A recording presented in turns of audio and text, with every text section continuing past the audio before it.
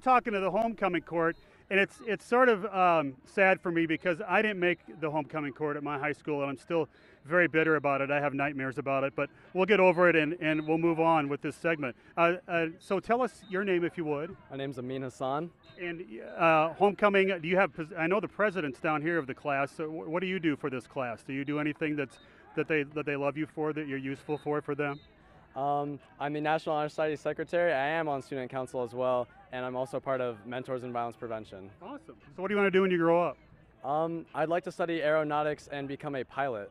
Oh, geez, that's I know a guy who can help you. I'll talk to you. All right. What's your name? Uh, my name is Rhett Wichman. Okay, and you're a, you're a senior, obviously. I'm a senior, yeah. Okay, and uh, tell us about your position on the court. Uh, my position, I'm more there for comedic relief.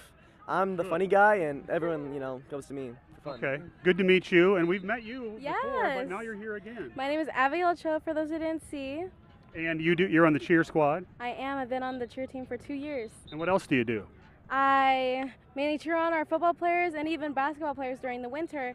And I'm just so excited to cheer on our team for the W.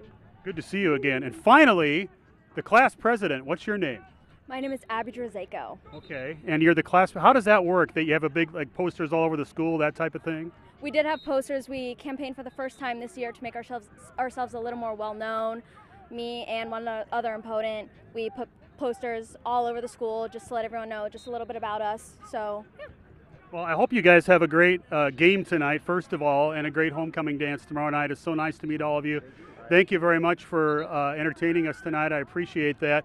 We'll be right back with more of this fabulous WHO 13 program. We're going to talk about sports, so stay tuned.